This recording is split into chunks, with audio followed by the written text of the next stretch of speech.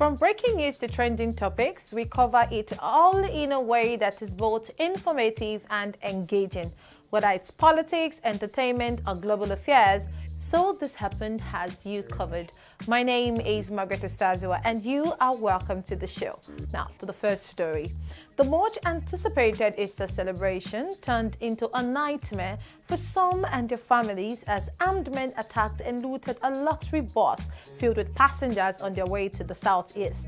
The incident took place at Oke Ado Junction, in Ijebu Mushin along the Ijebu-Ode Benin Expressway. The passengers looking forward to the joyous festivities were instead subjected to a harrowing ordeal at the hands of ruthless hoodlums. After robbing the passengers of their belongings, the criminals carelessly set the bus on fire, leaving the travelers stranded and traumatized. The 59-seater bus, operated by Ifesinachi Transport Limited, became a scene of chaos and despair as the passengers recounted the horrific events that unfolded that night. Hmm.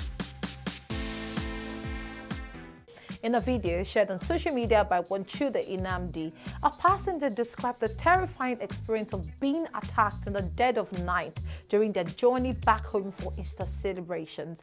The passengers were stripped off their possessions, some left half naked, while others suffered injuries from the violent attack.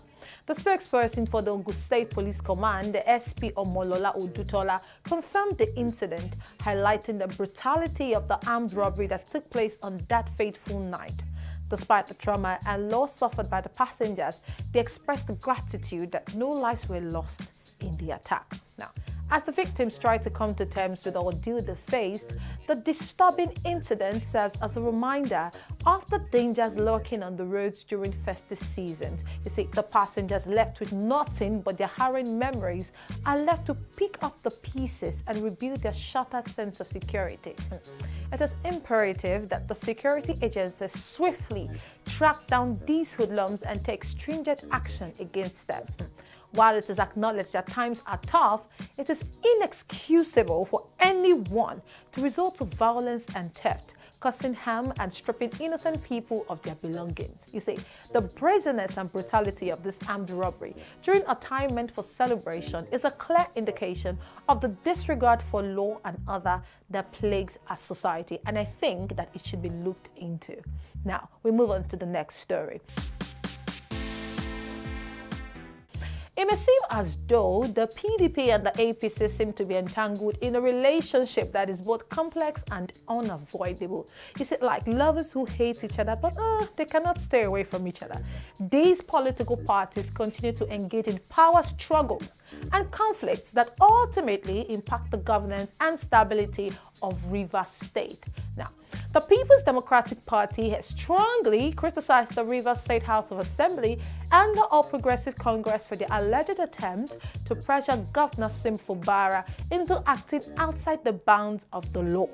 The PDP has deemed the renewed threat of the impeachment against Fubara by the lawmakers as not only embarrassing but also a public nuisance to the state. This condemnation was articulated in a statement released in Port Harcourt by the PDP Publicity Secretary Sidney Gbara. Now, you would recall that the 27 lawmakers reportedly loyal to the Minister of the Federal Capital Territory, Nyesom Wike, had announced on Sunday, March 31, 2024, that they might reconsider impeaching Fubara as a final measure to fulfill their duties and uphold the Constitution.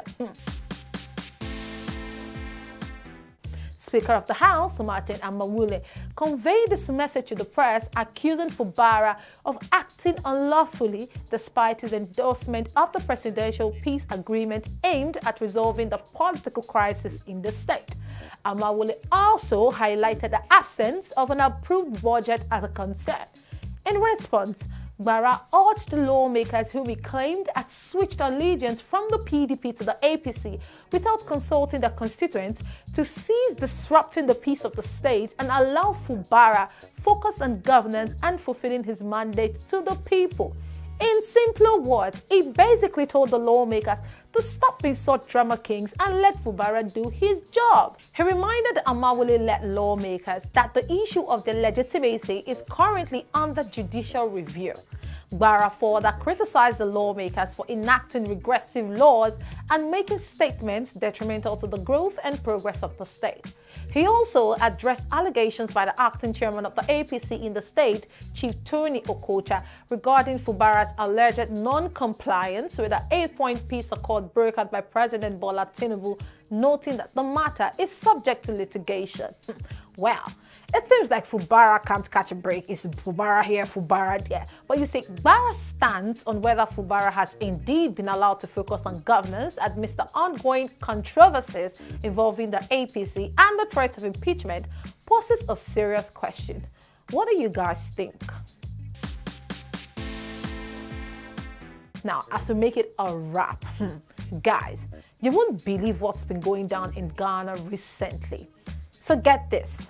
A 12 year old girl was told to up her sex appeal and dress teasingly for her new husband, who happens to be a 63 year old priest. Yep, you heard that right. These influential traditional priests, Nuumo Borketey Laweh Tsuru XIII, tied the knot with the young teen in a customary ceremony. And get this, is considered one of the most powerful people in their community. But here's where it gets even crazier. In footage and pictures circulating online, community members were seen encouraging the girl to dress provocatively and use gifted perfume to attract the priest. As expected, the priest is facing some serious backlash from outsiders, but community leaders are quick to defend the tradition, claiming that people just don't understand their customs. One local leader, Nii Bortey Kofi Frankwa II, explained that the girl has been preparing for this role for six years, all while juggling her education. And get this, that's not all. She's also set to undergo a second purification ceremony to fully embrace her role as the priest's wife. Oh, and did I mention that procreation and childbirth are considered crucial parts of this role for the 12 year old? Yeah, it's a lot to take in. Needless to say, this whole child marriage tradition in Ghana has sparked outrage among Ghanaians. Interestingly, this is the fate of every one in 10 girls in West and Central Africa as they get married up before turning 15. On a broader scale, 4 out of 10 girls are married off before 18. Central and West Africa have the highest prevalence of child marriages in the world. What a feat to lead at. Definitely, whatever is being done by the government of Ghana and other Central and Western African countries isn't enough. All hands will be required to deal with this human rights abuse head on because no matter how I try to process this story, it doesn't seem right in my head. However, how is it turning out in yours? Do let me know what you think.